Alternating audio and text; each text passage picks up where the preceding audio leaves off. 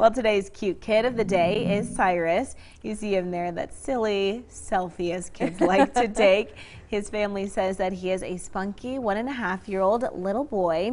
He loves dancing and he also loves to talk and he's a huge mama's boy. Definitely, Good thing to uh, be. stole the phone and kind of took a snapshot. Oh, there. 100%. Probably He was- ran around with it too. He did. He was Went on like, I'm not chase." giving this back. I'm going to take pictures and send messages and all the things. Well, he looks happy, and that's So all that matters.